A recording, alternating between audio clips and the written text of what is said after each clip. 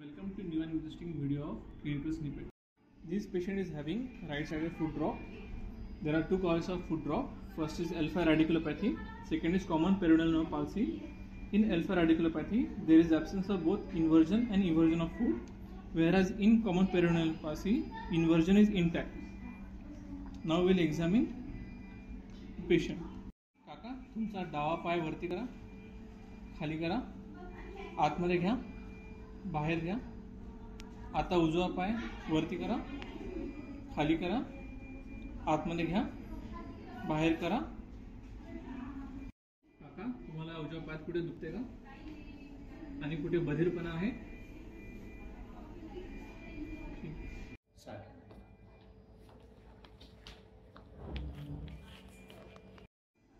In this patient, we saw absence of dorsiflexion, eversion, as well as inversion in right foot with pain in buttocks and numbness extending from lateral foot, lateral aspect of thigh to dorsum of foot. Hence, we conclude this is a case of alpha radiculopathy